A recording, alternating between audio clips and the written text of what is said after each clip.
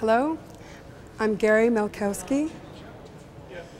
I'm Special Advisor to the President, Public Affairs for the Canadian Hearing Society. We're really excited to see the launch of accessible 911 information so that the public can see and contact 911 and find out how to do that in their language, including the language of the deaf community. So you can see behind me Beth Hutchison, who is signing the 911 information in American Sign Language.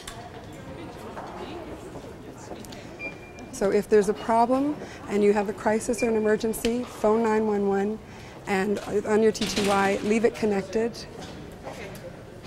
It's very interesting and fabulous to see 911 accessible information on their website. So if there's an emergency or a crisis and I have to phone 911, I have a teletypewriter, a TTY, or internet um, with a TTY on it, and I phone the 911 operator through my TTY.